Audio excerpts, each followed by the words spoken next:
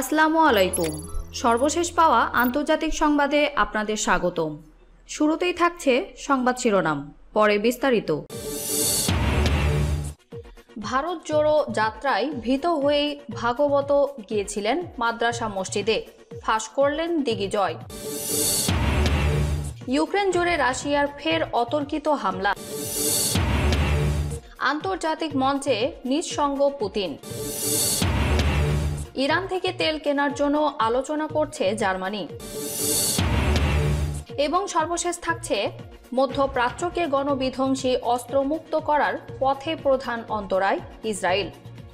Iran বলেছে, মধ্যপ্রাচ্যকে গণবিধ্বংসী অস্ত্রমুক্ত করার পথে ইহুদিবাদী ইসরায়েল প্রধান বাধা সৃষ্টি করে রেখেছে এবং আমেরিকার অনুষ্ঠ সমর্থন এই কাজে তেল আবিবকে বেপরোয়া করে তুলেছে।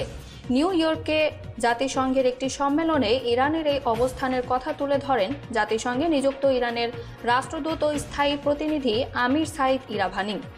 সেই সম্পর্কে আপনারা আপনাদের মূল্যবান মতামত অবশ্যই কমেন্টসে জানাবেন। আর মধ্যপ্রাচ্যকে গণবিধ্বংসী অস্ত্রমুক্ত করার পথে প্রধান অন্তরায় ইসরায়েল। সেই সম্পর্কে বিস্তারিত থাকছে ভিডিওর শেষ অংশে। সুতরাং ভিডিওটি শেষ পর্যন্ত দেখার জন্য বিশেষভাবে অনুরোধ রইল। আর আপনি কোন জায়গা থেকে ভিডিওটি দেখছেন, সেটা অবশ্যই কমেন্টসে লিখে জানাবেন। আন্তর্জাতিক সংবাদ সবার আগে পেতে আমাদের চ্যানেলটি সাবস্ক্রাইব করে পাশে থাকা বেল বাটনটি অন করে দিন। এবং এই ভিডিওটিতে একটা লাইক দিয়ে ভিডিওটি শেয়ার করে দিন আপনার পরিচিতদের মাঝে। ভারত জোড়ো যাত্রায় ভীত হয়ে ভাগবত গিয়েছিলেন মাদ্রাসা মসজিদে। ফাঁস করলেন দিগ্বিজয়। ভারত জোড়ো যাত্রার প্রভাব পড়েছে দেশটিতে। পরিস্থিতি এতটাই কঠিন হয়ে পড়েছে যে আর এস প্রধান মোহন ভাগবতকে মাদ্রাসা আর মসজিদে দৌড়াতে হচ্ছে। এরপর কোনো দিন দেখা যাবে যে প্রধানমন্ত্রী নরেন্দ্র মোদীও ফেস টুপি পড়তে শুরু করেছেন। রাহুল গান্ধীর নেতৃত্বাধীন কংগ্রেসের ভারত জড়ো যাত্রার প্রশংসা করে এমনটাই জানিয়েছেন কংগ্রেস নেতা দিগ্বিজয় সিং। ওরফে দিগ্গি রাজা। তিনি নিজে এই ভারত জড়ো যাত্রার সাংগঠনিক কমিটির প্রধান। সাংবাদিকদের তিনি বোঝানোর চেষ্টা করেন যে, এই ভারত জড়ো যাত্রা সাফল্যের জন্যই বিজেপি এখন বাধ্য হয়ে রাহুল গান্ধীর বিরুদ্ধে সুর চড়াচ্ছে। ইন্ডিয়ান এক্সপ্রেস টুপি নিয়ে মোদীকে দিগ্বিজয়ের এই কটাক্ষের বিশেষ কারণ আছে। দু হাজার এগারো সালে মোদী সেই সময় গুজরাটের মুখ্যমন্ত্রী। আহমেদাবাদে সদ্ভাবনা উপাবাসে অংশ নিয়েছিলেন। সেই সময় এক মুসলিম তাত্ত্বিক মোদীকে ফেস টুপি পড়তে বলেছিলেন। কিন্তু সেই আবদার মানতে রাজি হননি আর এর প্রাক্তন প্রচারক নরেন্দ্র মোদী। আর ভগবতকে নিয়ে যে কটাক্ষ দিগ্বিজয় করেছেন, তার সূত্রপাত গত সেপ্টেম্বরে। সেই সময় মাদ্রাসা এবং মসজিদে গিয়েছিলেন ভাগবত। সেখানে অল ইন্ডিয়া ইমাম অর্গানাইজেশনের প্রধান ওমর আহমেদ ইলিয়াসের সঙ্গে বৈঠক করেছিলেন স্বর সংঘ চালক। সে যে সেপ্টেম্বরের এই ঘটনা, সেই মাসেই সাত তারিখে তার ভারত জড়ো যাত্রা শুরু করেছেন কংগ্রেস নেতা রাহুল গান্ধী। কন্যাকুমারী থেকে শুরু হয়েছে তার এই পদযাত্রা। মঙ্গলবার এই প্রসঙ্গে বলতে গিয়ে দিগ্বিজয় জানান, সংঘের এক প্রবীণ নেতা তার কাছে স্বীকার করে নিয়েছেন যে, মোদির জমানায় দেশে গরিবরা আরও গরিব হয়ে যাচ্ছেন, আর ধনীরা ক্রমশই ধনী হচ্ছেন। রাহুল গান্ধীর এই কর্মসূচির ভবিষ্যৎ ব্যাপক উজ্জ্বল। এমন আশা প্রকাশ করে দিগ্বিজয় বলেন, এই যাত্রার ফলে যে কি বিপুল জনজাগরণ ঘটতে চলেছে তা এখন বুঝবেন না। যাত্রা যখন শ্রীনগরে শেষ হবে, তখন বুঝবেন। ইউক্রেন জুড়ে রাশিয়ার ফের অতর্কিত হামলা।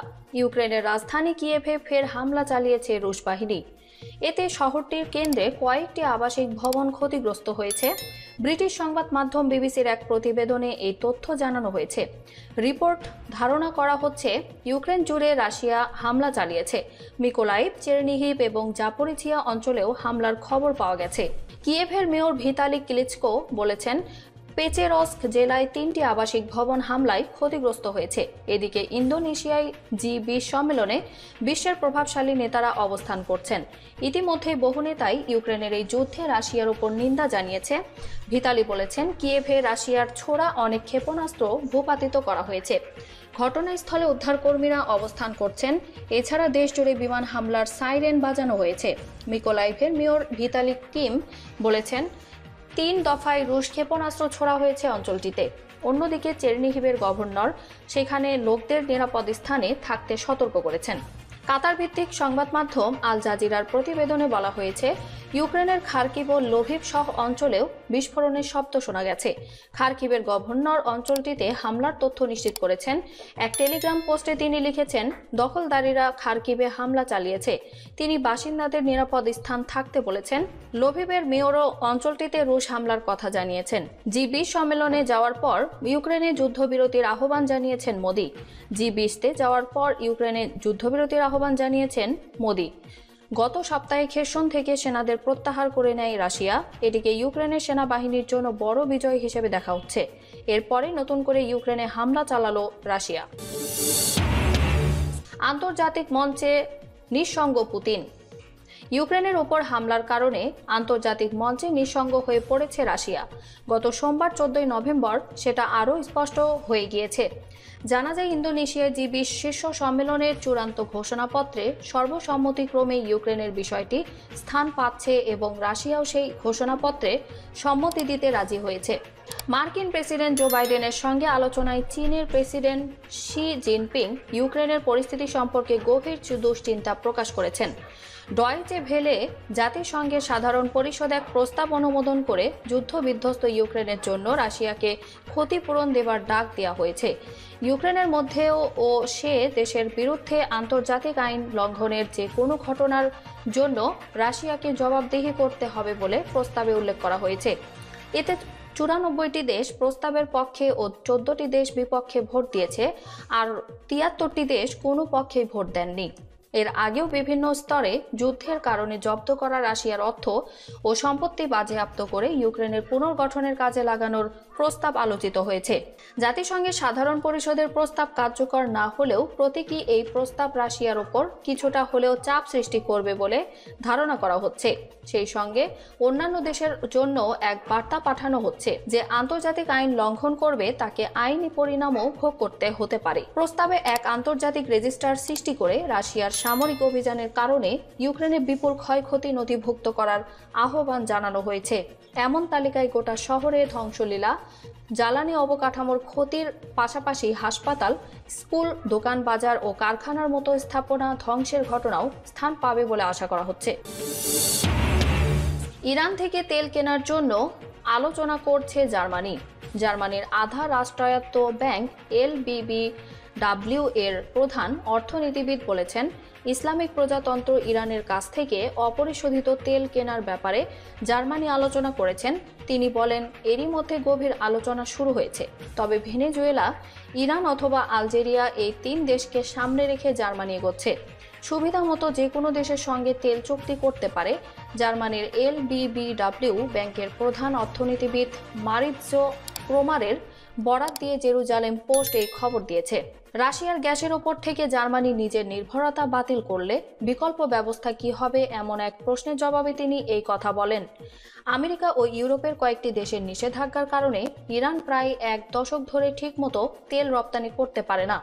মার্কিন সাবেক প্রেসিডেন্ট ডোনাল্ড ট্রাম্পের আমলে ওয়াশিংটন ইরানের উপরে প্রচণ্ড চাপ সৃষ্টি করে এবং তেহরানের তেল বিক্রি শূন্যের কোঠায় নামিয়ে আনার ঘোষণা দেয়। তবে ইরানের তেল রপ্তানি পুরোপুরি বন্ধ করতে পারেনি। এর মধ্যে ইরানের নতুন প্রেসিডেন্ট সাইদ ইব্রাহিম রাইসি দায়িত্ব নেওয়ার পর বাড়ানোর পদক্ষেপ নেয় এবং বর্তমানে ইরানের তেল রপ্তানি এগারো গুণ বেড়েছে। মধ্যপ্রাচ্যকে গণবিধ্বংসী অস্ত্রমুক্ত করার পথে প্রধান অন্তরায় ইসরায়েল। ইরান বলেছে, মধ্যপ্রাচ্যকে গণবিধ্বংসী অস্ত্রমুক্ত করার পথে ইহুদিবাদী ইসরায়েল প্রধান বাধা সৃষ্টি করে রেখেছে এবং আমেরিকার অনুণ্ঠ সমর্থনে কাজে তেল আবিবকে বেপরোয়া করে তুলেছে। নিউ ইয়র্কে জাতিসংঘের একটি সম্মেলনে ইরানের এই অবস্থানের কথা তুলে ধরেন জাতিসংঘে নিযুক্ত ইরানের রাষ্ট্রদূত ও স্থায়ী প্রতিনিধি আমির সাইদ ইরাভানি। মধ্যপ্রাচ্যকে পরমাণু অস্ত্রসহ সব ধরনের গণবিধ্বংসী অস্ত্র মুক্ত করার উপায় নিয়ে আলোচনা করতে গতকাল মঙ্গলবার ওই সম্মেলন অনুষ্ঠিত হয়। ইরাভানি তার দেশের উপর ইরাকে চাপিয়ে দেওয়া আট বছরের যুদ্ধের সময় ইরানে ভয়াবহ রাসায়নিক হামলার তিক্ত অভিজ্ঞতার কথা তুলে ধরে বলেন ইহুদিবাদী ইসরায়েলের কাছে নিশ্চিতভাবে পরমাণু ও রাসায়নিক সহ সব ধরনের গণবিধ্বংসী অস্ত্র রয়েছে। ইরাভানি বলেন, তার দেশ মধ্যপ্রাচ্য সহ গোটা বিশ্বের সব ধরনের গণবিধ্বংসী অস্ত্রের ধ্বংস চায়। ইরান পরমাণু অস্ত্র বিস্তার রোধ চুক্তি বা এনপিটি সহ এই ধরনের সব আন্তর্জাতিক আইনের প্রতি প্রতিশ্রুতিবদ্ধ বলেও জানান তিনি। জাতিসংঘে নিযুক্ত ইরানের স্থায়ী প্রতিনিধি বলেন মধ্যপ্রাচ্যকে গণবিধ্বংসী অস্ত্রমুক্ত অঞ্চল হিসেবে গড়ে তোলার জন্য ইহুদিবাদী ইসরায়েলকে প্রথমে এবং সর্বাগ্রে তার পরমাণু অস্ত্র ভাণ্ডারের বিষয়ে একটি স্বচ্ছ নীতি গ্রহণ করতে হবে এবং তথাকথিত কৌশলগত অস্পষ্টতা ত্যাগ করতে হবে। তেল আবিবকে এনপিটি চুক্তি সই করতে বাধ্য করতে হবে এবং এটির সফল পরমাণু স্থাপনায় আই আই এর পরিদর্শন নিশ্চিত করতে হবে।